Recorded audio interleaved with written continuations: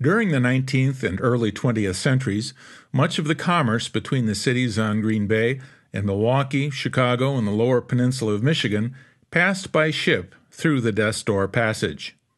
By now, you probably know that Death's Door may have gotten its name due to the shifting currents, changing weather, and hidden shallows that made it such a hazardous passage.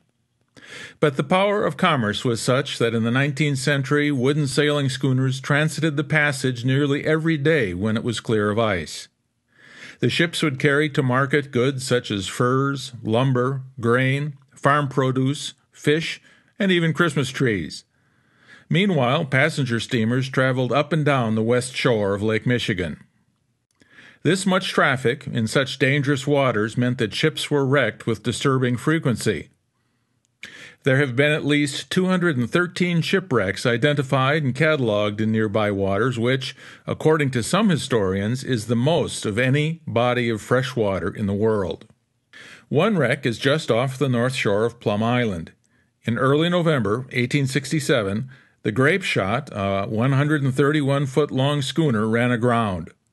She ran aground so forcefully that her bow was raised four feet out of the water. Fortunately, no lives were lost, but after several attempts at recovery, the Grapeshot was declared a loss. She rests now in eight feet of water and is visible in the clear water to divers and kayakers. A small white float indicates her location. With wrecks like the Grapeshot being all too common, it's not surprising that Congress directed the U.S. Life Saving Service to establish a life saving station on Plum Island. And in April 1896, the Plum Island Life Saving Station began operation.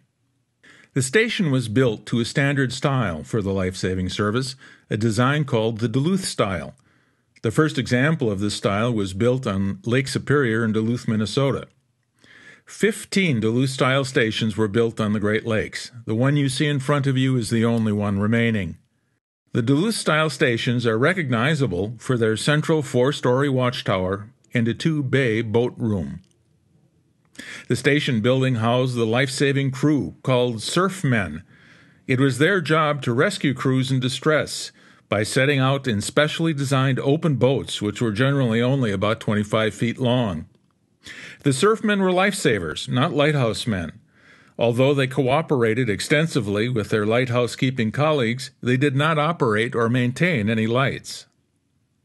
A hiking path along the water around the island follows the patrol path that crews had to walk daily around the island watching for endangered ships. In front of the life saving station, you'll see a large boathouse. This boathouse was built in 1939 during the Roosevelt administration, so its type of construction is called the Roosevelt type. It was built after the boat bays in the life saving station were enclosed to provide more sleeping area. 1939 was also the year that the U.S. Coast Guard took over life saving and lighthouse duties.